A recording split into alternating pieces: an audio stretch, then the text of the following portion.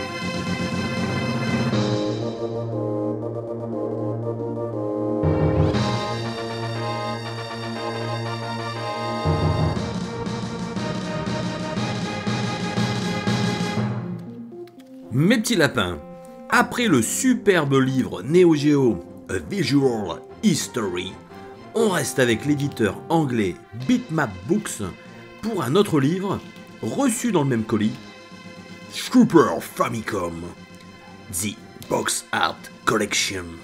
Et ouais, rien que ça.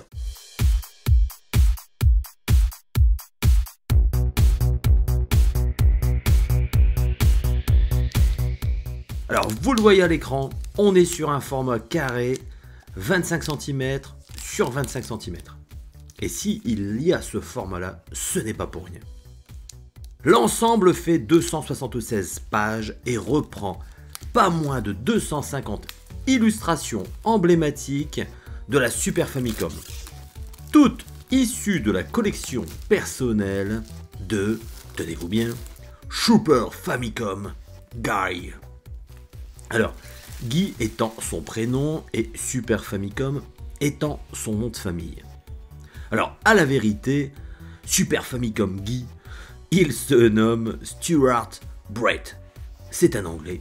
Bon, et ça, on n'y peut rien malheureusement.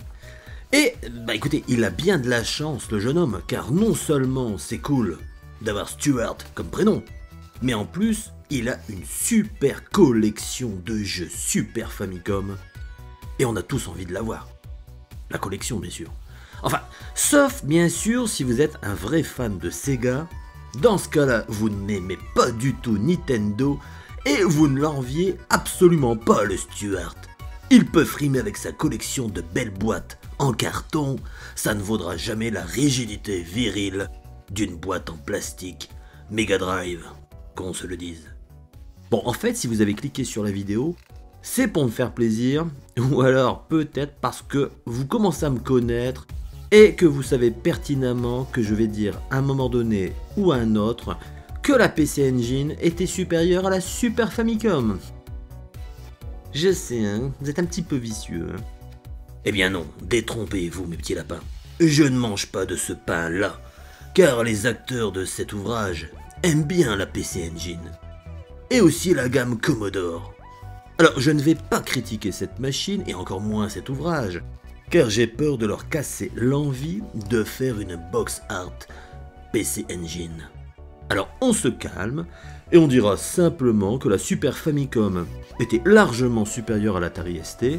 Ça, c'est gratuit et ça ne prête pas à conséquence, hein, car il est improbable qu'un éditeur se dise un jour euh, Tiens, je veux faire un box art book hein, sur les jeux Atari ST. Non, non, non, non, il est évident qu'il sortira son livre sur les boîtes de jeux Amiga, car même les boîtes de jeux Amiga étaient plus belles. On raconte même que le carton était plus résistant, car les ouvriers qui le fabriquaient étaient plus consciencieux. Mais bon, on s'égare et ça c'est une autre histoire. Signalons quand même au passage que Bitmap Books a sorti deux ouvrages sur les visuels emblématiques du Commodore 64 et de l'Amiga, mais ils sont malheureusement épuisés. Donc on va pas forcément en parler parce que si vous pouvez pas les commander après, ça c'est un petit peu dommage.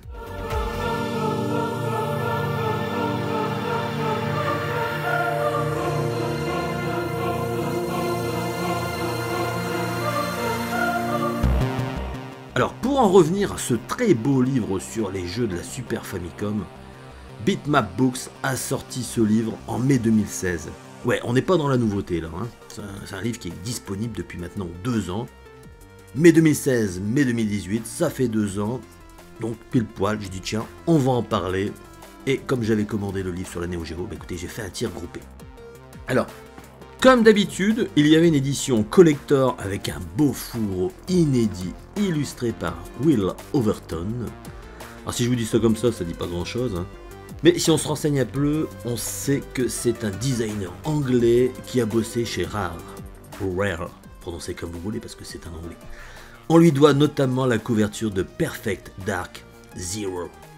Mais bon, ne l'ayant pas eu, cette euh, édition collection, cette édition collector, pardon, on ne va pas s'étendre. Alors après une très drastique sélection opérée par le comité rédactionnel de Bitmap Books, alors vous l'avez vu au début, hein, au début du livre, il y a pas mal de beau monde autour de, ce projet. Ben écoutez, ce comité rédactionnel fait une sélection très drastique. Et c'est ce que je disais précédemment, et je me répète un petit peu, mais c'est pas grave. On retrouve ainsi des illustrations en taille réelle Là, là à l'écran, vous le voyez pas, mais ce sont des tailles réelles. Donc euh, voilà, on est sur du 1-1, si on veut parler en termes d'échelle. Ainsi, ne soyez pas étonnés si vous tombez sur quelques boosts dans l'eau. Ouais, alors en l'occurrence, pas celui qui passe à l'écran actuellement, que j'aime beaucoup. Non, non, non, non, non. On n'est donc pas sur un livre des 250 meilleurs jeux de la Super Famicom, mais sur les 250 plus beaux visuels Super Famicom selon ce comité rédactionnel. Cette nuance a son importance car je vois d'ici quelques pinailleurs qui vont dire Ouais, mais dans ton intro, là, t'as mis des visuels de jeux Famicom qu'on ne retrouve même pas dans le livre, patati patata, enfin ça va pinailler, bon. Effectivement, ici le parti pris est de rendre hommage aux talentueux illustrateurs des jeux Super Famicom, et en ce qui concerne mes intros, je fais ce que je veux, ok. Les choses étant dites, nous pouvons continuer mes chers amis. ces derniers avaient un impératif non négligeable, et là je parle des talentueux illustrateurs des jeux Super Famicom, ils avaient un impératif non négligeable, jouer avec le format de la boîte. Bah ouais, vous le voyez à l'écran, des, boîtes toutes longues. Ah, c'est pas évident, hein.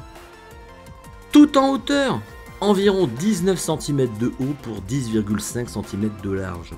Allez faire un dessin qui soit à la fois original euh, avec ce format-là. C'est pas évident, hein, c'est pas évident. Et pour petite anecdote, ça a d'ailleurs causé pas mal de soucis lors de la localisation américaine ou européenne. Bah ouais, parce que nous on aime bien les boîtes carrées. Donc forcément, les boîtes étant plus larges que hautes, 18 cm de large sur 12 cm de haut, comment voulez-vous coller un visuel qui fait 19 cm sur 10 cm,5 de large C'était compliqué. Hein Et dans bien des cas, il a fallu faire une nouvelle illustration, une nouvelle illustration pour ce format de ce fait, les puristes considèrent les illustrations originelles japonaises comme étant les plus belles. J'avoue qu'il est difficile de leur donner tort quand on voit certaines horreurs européennes ou américaines. Prenons un exemple pris au hasard. Rushing Beat, par exemple. Et je dis pas ça parce qu'il y a beat dedans, hein. c'est Rushing Beat, c'est un bon jeu de baston. Non seulement il a été renommé en Rival Turf chez nous, enfin pour les marchés occidentaux, mais quand vous voyez le visuel, il vous donne clairement pas envie d'y jouer. Hein. c'est pas très engageant. Hein. Donc on peut comprendre que certains veulent absolument les boîtes originelles japonaises.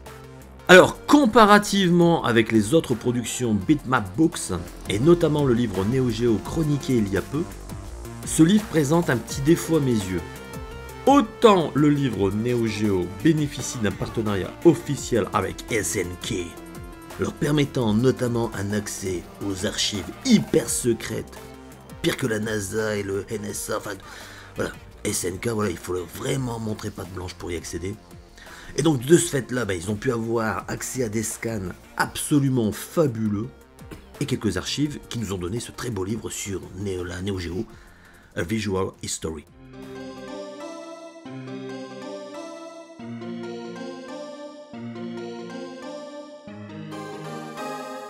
Par contre, ce livre montre ses limites avec des visuels de boîtes de jeu, certes d'excellente qualité, mais ça reste des boîtes de jeu d'un collectionneur. Et certaines, bah écoutez, sont un peu abîmées ou un peu griffées. Alors bon, Je vous rassure, on est dans le domaine du pinaillage car ça reste globalement très très beau. Alors le point fort de ce livre, ce sont les petites explications et les anecdotes qu'il y a pour chaque jeu. Si vous ne parlez pas très bien anglais, paniquez pas, c'est pas bien grave. C'est quand même de l'anglais scolaire, donc euh, voilà, faut pas non plus sortir de Saint-Cyr pour, euh, pour s'y retrouver. Et dans le pire des cas, il faudra vous armer de votre smartphone et de l'application Google Translate pour traduire via le mode photo les pages qui vous intéressent.